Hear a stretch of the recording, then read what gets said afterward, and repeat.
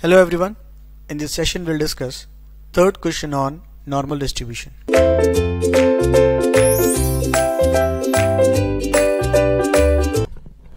Hello everyone.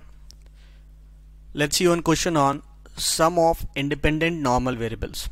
We have seen the concept, we have seen how we can find the mean and uh, variance for this and also we have seen that the sum of uh, random variables linear sum of random variables will give another random variable which will also be a random variable in the sen sense of normal distribution. That means if all these uh, like say n number of random variables are following normal distribution the linear combination will also follow the normal distribution. Right? So the question is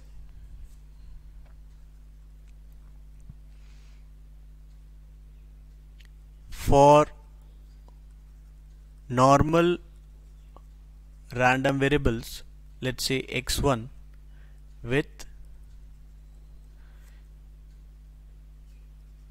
mu equal to 2 and sigma square equal to 3 and x2 with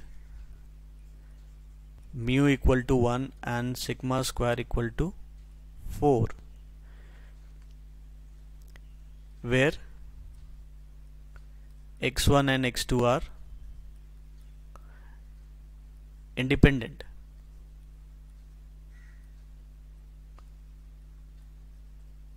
Then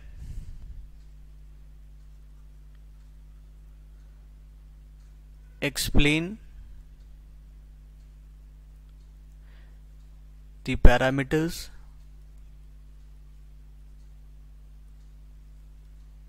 and nature of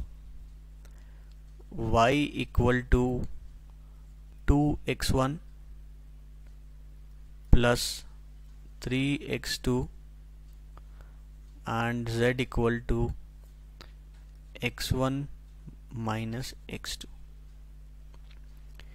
now you can see this y. Now that this x and y are random variables normal random variables which are independent this y is equal to 2x1 plus 3x2 is a linear combination and this z equal to x1 minus x2 is also a linear combination with c1 and c2 being 2 and 3 c1 and c2 being 1 and minus 1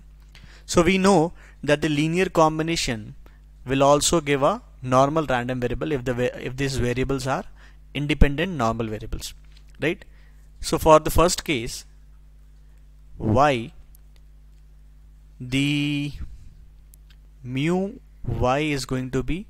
c1 mu 1 plus c2 mu 2 so this c1 is 2 c2 is 3 so 2 into the mean value is given as 2 and 1 2 and 1 so this is 2 into 2 plus 3 into 1 which is 7 also this sigma y square will be c1 square sigma 1 square plus c2 square and sigma 2 square. So c1 is again 2 and 3 so this is 2 square into sigma 1 square is 3 plus 3 square into 4 right? So 4 3 12 and 9 4 36 so 36 and 12 is equal to 48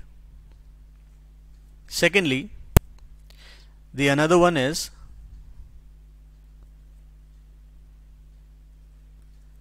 z equal to x1 minus x2 so c1 is equal to 1 and c2 is equal to minus 1 so in this case we'll see again it is a linear combination. So mu z will be c1 mu 1 plus c2 mu 2 which is mu 1 is mu 1 is 3 and mu 2 is uh, 4 this is 2 and 1 so this is going to be 2 minus 1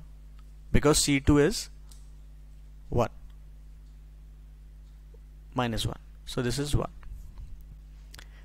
and sigma z square will be c1 square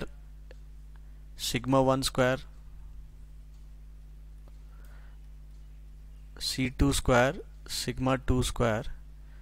So this is c1 and c2 are both 1 and minus 1 so this will be 1 1 square is 1 sigma 1 square is 3 plus minus 1 square is also 1 into 4 which is 7 so both z both y and z are normal random variable. So you can say z is a normal random variable with mm, 1 7 comma 1